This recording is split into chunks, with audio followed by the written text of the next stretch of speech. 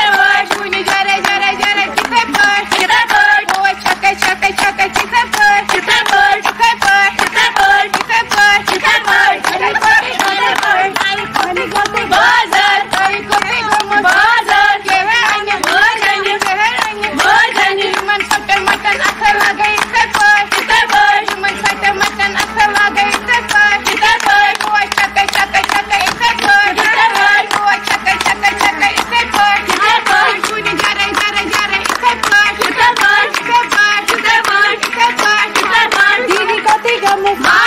diga e Didi vamos, Maza.